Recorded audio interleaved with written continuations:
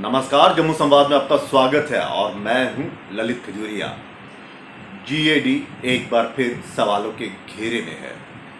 सवाल इस तरह के उठ रहे हैं कि जम्मू कश्मीर स्टेट बोर्ड में पोस्ट निकाली जाती है चेयरमैन की। लेकिन जब उस पोस्ट को फिल करने की बारी आती है तो फिर वीना पंडित जी का ही नाम सामने लाया जाता है और उन्हें एक्सटेंशन दी जाती है।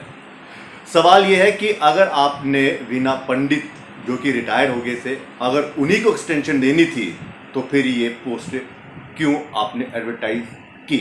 क्या ये सिर्फ़ आँखों में धूल झोंकने के लिए किया गया? या फिर ये कहा जाए कि जम्मू कश्मीर में अब नौकरियाँ उन्हीं को मिलेंगी जो रिटायर हो जाएँगे? इसी पर चर्चा करने के लिए हमारे साथ सुकेश खजूरिया जी हैं सोशल एक्टिविस्ट हैं। सर क्या कहा जाए कि जम्मू कश्मीर में अब उन्हीं को नौकरी दी जाएँगी जो रिटायर्ड हो जाएँगे। देखिए ललित जी आपके इस प्रश्न का उत्तर देने से पहले मेरे लिए सबसे पहले ये बताना ज़रूरी है कि ये जो सिलेक्शन प्रोसीजर होता है जी। वो किस तरीके से किया जाता है और कैसे कैसे क्या पूरा घटनाक्रम हुआ। देखिए 8 अप्रैल 2020 को जीएडी डिपार्टमेंट एक government order number 458 JK GAD of 2020 जो है वो by order of the lieutenant governor जो उस टाइम के लेफ्टिनेंट गवर्नर थे जीसी मुर्मू साहब। जीसी मुर्मू साहब और उस पर साइन करते हैं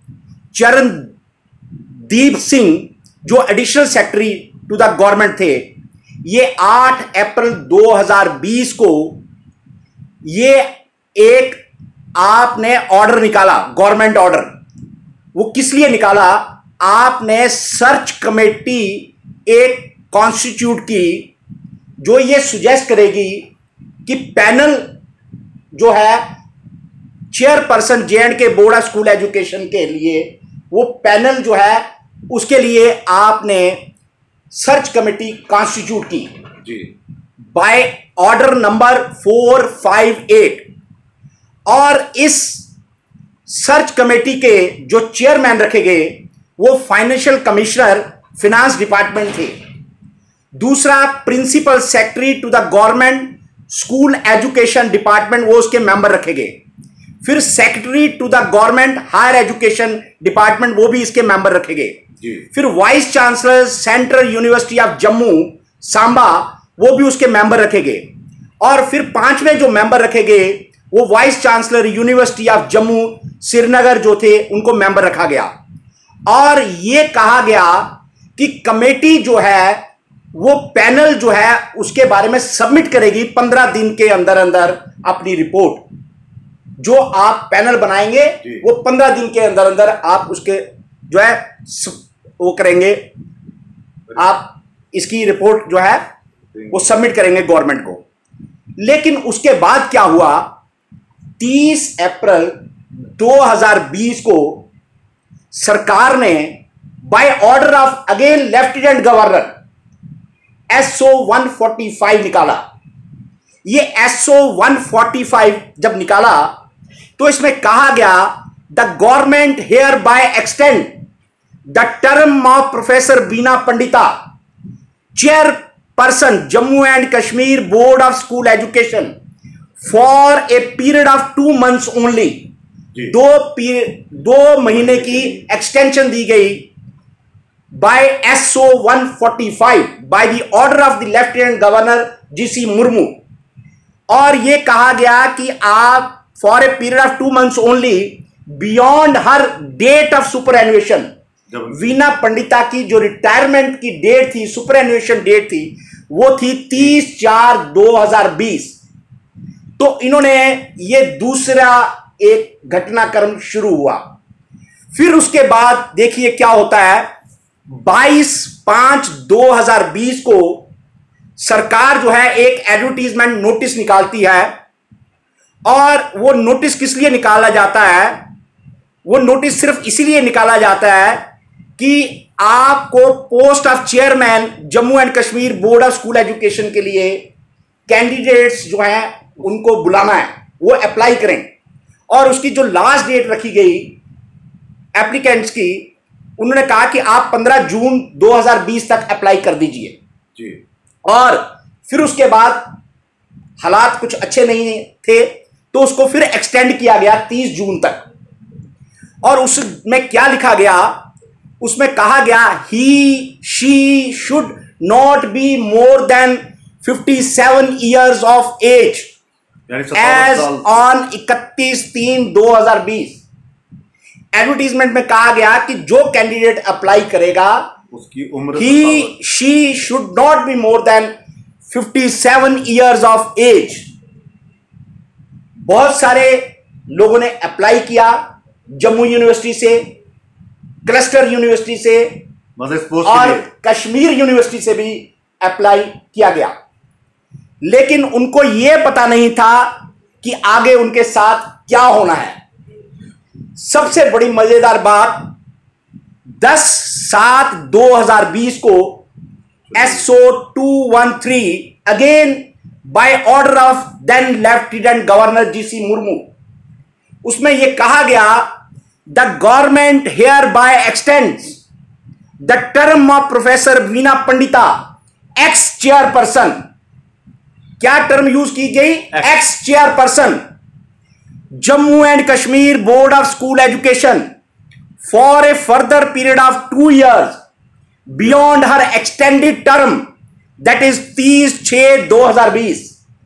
वीना पंडिता की जो सुपर एनुएशन डेट थी वो अप्रैल 30 अप्रैल 30 अप्रैल। तीस जो थी लेकिन उसके बाद उनको एक्सटेंशन मिली गई और एक्सटेंडेड पीरियड जो था वो तीस हज़ार बीस था। तो ये ऑर्डर जो निकला ये ऑर्डर निकला दस सात दो हज़ार बीस को। तीस छह दो हज़ार बीस तक ऑलरेडी एक्सटेंडेड ऑर्डर था। लेकिन उसके बाद दस सात दो हज़ार बीस को एसओ टू वन थ्री निकाला गया। मतलब तो इसका मतलब यह हुआ कि 10 दिन का बीच में गैप है। 10 दिन के लिए वो चेयरपर्सन नहीं थी। इसीलिए इन्होंने अपने ऑर्डर में भी लिखा ex chairperson Jammu and Kashmir board of school education जब एक आपका एम्प्लॉय एक्स हो गया आप उसको एक्सटेंशन किस कानून के तहत दे सकते हो? लेकिन आपने उस उन्हें एक्सटेंशन जो है दो दो साल की दी। और जिन जिन बच्चों ने अप्लाई किया उनके साथ बहुत बड़ी ने बेइंसाफी की गई। क्यों? क्योंकि उस एडवर्टीजमेंट को आपने विड्रॉ नहीं किया। आपने जो सर्च कमेटी बनाई उसके साथ भी मज़ाक हुआ जो क्रेडिबिलिटी है सिलेक्शन प्रोसीजर की उस पर वो ताक लगाया उसके ताक पे लगाया गया उसके ऊपर क्वेश्चन मार्क लग गया। सर सवाल यही है कि क्या कोई काबिल नहीं था इस पोस्ट के लिए? अगर उन्होंने सर्च कमेटी भी बनाई तो ये भी वो कहेंगे कि हमें कोई काबिल मिला ही नहीं। देखिए ललित जी ये मिलियन डॉलर क्वेश्चन है। कि आपने सर्च कमेटी कॉन्स्टिट्यूट की, आपने एडवर्टीजमेंट की, बच्चों ने अप्लाई किया, आपने उनका इंटरव्यू नहीं लिया, उनके साथ इंटरेक्शन नहीं की, और आपको कहीं से फ़ोन आता है, और उस फ़ोन के ऊपर आपने ये सारा काम किया, आपको पब्लिक डोमेन में ये बताना पड़ेगा कि आप क्या, जो एक्स चेयरपर्सन हैं उनको ही एक्सटेंशन देके क्या सरकारें चलाएँगे? क्या इंस्टीट्यूशन जो है एक आम आदमी से ऊपर हो गया है फ़ोन से भी ऊपर हो गया है इंस्टीट्यूशन तबाह हो जाएँगे। तो ये तो वही बात है अपने चहितों को ही फिर अपने चहितों को ही तो इन्होंने एक्सटेंशन देते रहे इसका मतलब। देखिए ये बहुत बड़ा जो है प्रश्न चिन्ह है कि आप इंस्टीट्यूशन जो है उनको तबाह कर रहे हैं। At the cost of one individual अगर किसी का फ़ोन आएगा तो आप इंस्टीट्यूशन तबाह करते जाएँगे। सुखे सर क्या आपको लगता है कि इसमें भी एक किस्म का ये इन्होंने अपने ज़िम्मेदारी से हटने की कोशिश की? चलिए, वो रिटायर्ड हो रहे थे, और ज़ाहिर सी बात है, जब रिटायर्ड होंगे तो वो पोस्ट वैकेंट हो जाएगी। उसको फिल तो करना ही है। इन्होंने एडवर्टीजमेंट भी निकाल दी कमेटी भी बना दी, और जब चुनने की बारी आई तो जिस तरह से आप कह रहे हैं कि एक फ़ोन आ गया।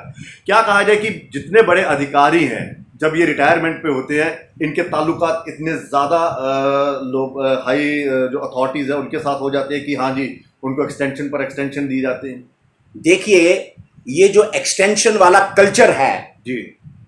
ये देश के लिए देश के इंस्टीट्यूशंस के लिए आम लोगों के लिए एक बहुत बड़ा खतरनाक किस्म का एक मैसेज है कि आप अपनी जो युवा पीढ़ी है, उनको आगे नहीं लाना चाहते हो और जो लोग इन सर्विस आपको क्या क्या बेनिफिट दिए हैं, उन्होंने कैसे कैसे आप लोगों को प्लीज़ किया है, ये बातें पब्लिक डोमेन में आनी चाहिए।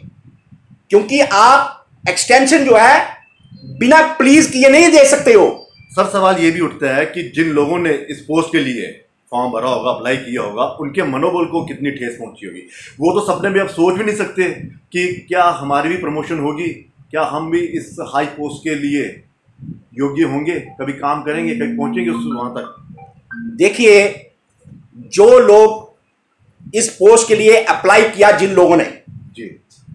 सबसे पहला तो उनकी जिम्मेवारी बनती है वो भी खामोश। कि अगर आपके साथ इनजस्टिस हुआ है तो आपकी लड़ाई लड़ने के लिए कोई विदेश से नहीं आएगा। आपको ही अपनी लड़ाई जो है वो लड़नी पड़ेगी। अगर आप खामोश रहते हैं, अगर आप वॉइसलेस हो जाते हैं तो आप आने वाली जनरेशन के लिए एक ऐसे बीज बो रहे हैं जो कांटों वाले पेड़ उगाएँगे। और ये कांटे जो है, ये पूरे देश को चुभेंगे। क्या आप इंस्टीट्यूशन जो है एक आदमी से ऊपर समझते हैं। क्या आपके जो सिलेक्शन प्रोसीजर हैं वो एक आदमी के से ऊपर होते हैं? क्या आपके इंस्टीट्यूशन आपके सिलेक्शन प्रोसीजर एक फ़ोन कॉल पे ताक पे लगाए जाते हैं? लेकिन इन इन लोगों ने क्यों नहीं आवाज़ उठाई होगी आपको क्या लगता है? देखिए अगर कोई आवाज़ नहीं उठाएगा तो इसका मतलब नहीं है कि कोई आवाज़ उठा नहीं सकता है। क्योंकि किसी ना किसी को बिल्ली के गले में घंटी बांधनी पड़ेगी। और कोर्ट का दरवाज़ा जो है वो खटखटाना पड़ेगा। No doubt public interest litigation जो है वो लाई नहीं करती हैं। लेकिन रिट ऑफ़ कोवरेंटो जो है वो हाई कोर्ट्स में लगाई जा सकती हैं। सर सवाल एक और उठता है कि इन्हीं पोस्ट बड़ी पोस्ट के लिए जो रिटायर्ड होते हैं उन्हीं को क्यों एक्सटेंशन दी जाती है? एक्चुअली क्या है कि ये एक जो जे के बोर्ड ऑफ़ या फिर ये प्रमोशन प्रमोशन के ऊपर बैरियर नहीं, देखिए, जो J K board of school education की चेयरपर्सन होती हैं, जब वो चेयर पे होती हैं, उनके डिस्पोजल पे देखना पड़ता है कि क्या क्या चीज़ें हैं। वो क्या क्या बेनिफिट इन सर्विस में जो हायर अप्स हैं, उनको दे सकते हैं। तो इस पे भी बड़ी गंभीरता से आपको इंक्वायरी करनी पड़ेगी कि ड्यूरिंग द सर्विस पीरियड उन्होंने किन किन को किस किस तरीके से क्या क्या बेनिफिट्स दिए हैं? अब इसके ऊपर भी प्रश्न चिन्ह लगेगा। आपको लगता है कि इस पर इंक्वायरी होनी चाहिए सर? बिल्कुल होनी चाहिए। क्योंकि अगर आज आप इन चीज़ों को रोकेंगे नहीं और ये बाद में एकमुलेट हो जाती हैं और फिर आपको सख्त कदम उठाने पड़ते हैं। दूसरा उसके सर भ्रष्टाचार सिर्फ़ पैसों का नहीं होता कि पैसे दिए तो ये भ्रष्टाचार में शामिल हो गए। क्या इसे भी भ्रष्टाचार की उस नज़र से देखा जाएगा? क्योंकि यहाँ पर बेनिफिट दिए गए हैं। वो भी अपनी एक लिमिट से बाहर। देखिए अभी हमारी यूनियन टेरिटरी के नए लेफ्टिनेंट गवर्नर साहब आए हैं। जी। वो विजनरी हैं पॉलिटिकली जो है उनकी एक इमेज है और उन्होंने आते ही इस यूनियन टेरिटरी को एक मैसेज दिया है कि मैं करप्शन फ्री जो है वो यूनियन टेरिटरी बनाऊँगा। ये बड़ा एक स्ट्रॉन्ग मैसेज है।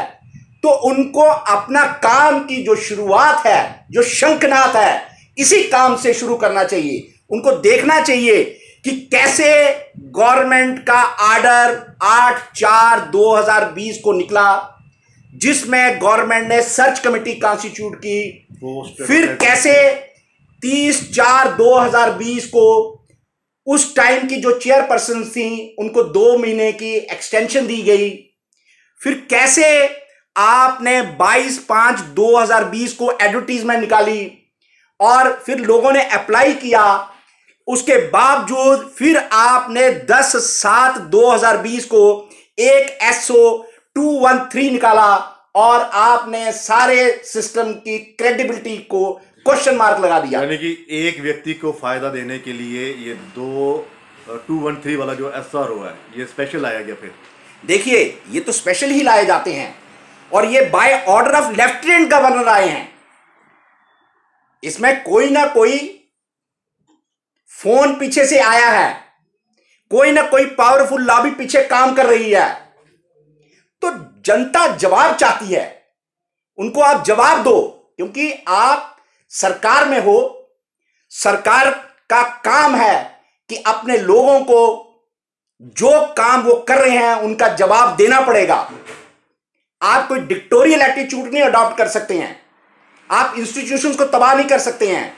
आप एक सिंगल इंडिविजुअल को आप वो सारे बेनिफिट्स नहीं दे सकते हैं, जिसके लिए वो इंटाइटल नहीं है। और इस फैसले से कई लोगों का फ्यूचर इन्होंने बर्बाद कर दिया एक का। क्योंकि इनके मन में तो था कि अगर हम ये पोस्ट पे अप्लाई करेंगे तो शायद हमारी सिलेक्शन हो जाए।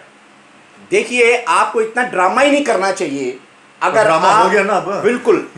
आपको इतना ड्रामा नहीं करना चाहिए। अगर आपके मन में पहले ही ये बना के रखा हुआ है अपने मन में कि हमने एक्सटेंशन से ही काम चलाने हैं। तो इसका मतलब सरकारें अब एक्सटेंशन से ही काम चलाएँगी अपना। हमारे गवर्नर भी तो सारे एक्सटेंशन वाले ही आगे थे। बिल्कुल। तो सॉरी गवर्नर साहब जो जो एलजी और उनके एडवाइजर जो हैं वो एक्सटेंशन पे तो थे सारे। रिटायर्ड हुए एक्सटेंशन पे आगे। आप जो है कुछ लोगों का जो एक्सपीरियंस होता है वो भी जो है आपके लिए फ़ायदा देता है। लेकिन हर छोटी से छोटी बात के लिए जिसके लिए आपको कैंडिडेट्स अवेलेबल हैं। दर्शकों को बता दूँ कि बिजली की समस्या आप यहीं पे देख सकते हैं कि किस तरह से बिजली आ रही है, जा रही है। मुझे लगता है कि एलजी साहब को इस ओर भी ध्यान देना चाहिए कि अगर आप प्राइवेटाइजेशन कर रहे हैं तो बिजली में एक स्टेबिलिटी तो होनी चाहिए और बिजली बंद हो रही है, आ रही है। इस पर भी काफ़ी प्रोग्राम पे असर पड़ रहा है। सर, आखिरी सवाल ये है कि क्या इस पर इंक्वायरी बैठेगी? देखिए, पहली बात तो ये है कि जो नए लेफ्टिनेंट गवर्नर हैं, उन्होंने ये स्ट्रॉन्ग मैसेज यहाँ से ही देना चाहिए कि ये जो एक्सटेंशन है इसको कैंसिल करके जो सिलेक्शन प्रोसीजर एक्चुअली होता है उसी को। अडॉप्ट करते हुए जस्टिस देना चाहिए एक स्ट्रॉन्ग मैसेज कन्वे करना चाहिए स्टेट के सब अधिकारियों को कि अब वो टाइम खत्म हो गया जब आप। एक्सटेंशन काउंटर से काम चलाओगे अब लेफ्टिनेंट गवर्नर बदल गए हैं और उनकी दूरदर्शिता जो है अब और। वो करप्शन फ्री जम्मू की यूनियन टेर जम्मू कश्मीर की यूनियन टेरिटरी चाहते हैं।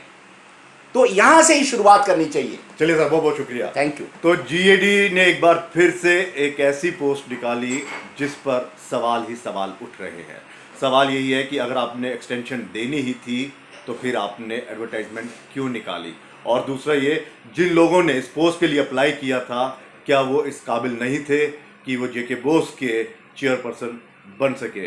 फ़िलहाल ये जाँच का विषय है कि एक व्यक्तिगत फ़ायदा पहुँचाने के लिए किस तरह से जा रहे हैं।